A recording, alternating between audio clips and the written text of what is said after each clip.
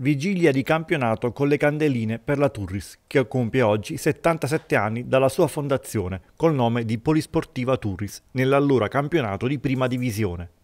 I corallini, reduci dal KO interno di domenica scorsa contro il Monopoli, si preparano per la difficile trasferta di Foggia, con fischio d'inizio allo stadio Zaccheria alle ore 20.30.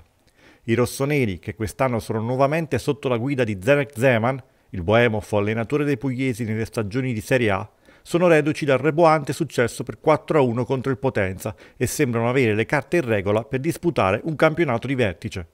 La squadra di Mister Caneo, invece, nonostante il discreto gioco mostrato nelle prime uscite, è ancora alla ricerca del primo successo in campionato, da costruire principalmente con una maggiore pericolosità offensiva, vista l'unica rete siglata nei primi 180 minuti del torneo.